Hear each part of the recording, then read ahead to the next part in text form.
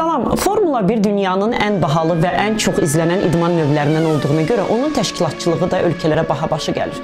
Çünki Formula 1-in çox yüksək standartları var ki, həmin tələblərə cavab verən yarış trası, təhlükəsizlik tədbirləri, media mərkəzi, pit stop binası və s. hazırlamaq çoxlu xərc tələb edir. Formula 1 yarışlarına qatılan hər ölkə yarışın təşkilatçılarına müəyyən haqq ödəyir. Amma bu məbləğin konkret nə qədər olduğu açıqlanmır və bu məbləğ hər il dəyişir.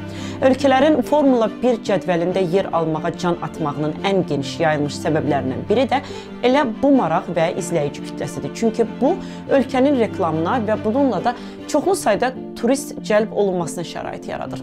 Digər tərəfdən yarışlarda bilet satışından da yaxşı gəlir əldə olunur.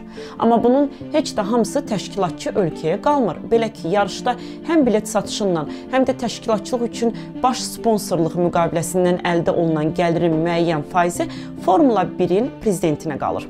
Hələ 6 il əvvəl Azərbaycan rəsmiləri açıqlamasında bildirmişdilər ki, 6 kilometrlik yarış trasının hazırlanması 12 milyon manata başa gəlib. Pit stop binasının qiyməti isə təxminən 30 milyona yaxındır.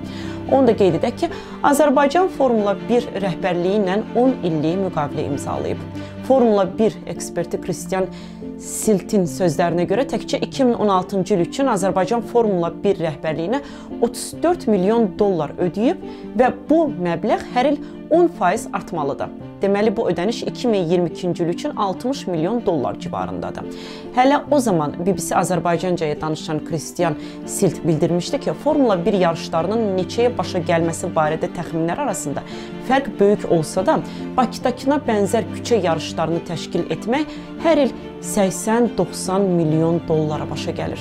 Gənclər və İdman Nazirliyi isə açıqlayıb ki, 4 il ərzində Bakıda keçirilmiş Formula 1 yarışları ölkə iqtisadiyyatına ümumilikdə 506,3 milyon dollar gəlir gətirib. Ancaq onu da deyim ki, bu vaxta kimi nazirlik heç bir gəlir və ya xərcləri göstərən sənəd təqdim etməyib.